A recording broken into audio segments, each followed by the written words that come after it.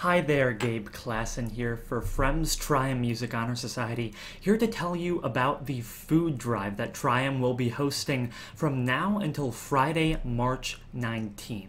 Um, so the Palatine Food Pantry, who is the beneficiary of this food drive, if you don't know, um, is a very important institution in our local community. They've actually served an average of 345 families a month for the past year, so it's very important to uh, shore up their operations during these tough times.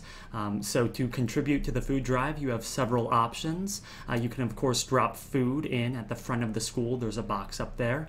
Uh, you can also drop food directly at the food pantry uh, which is at the Palatine Township Center uh, just across the corner from Fremd at Quentin in Illinois.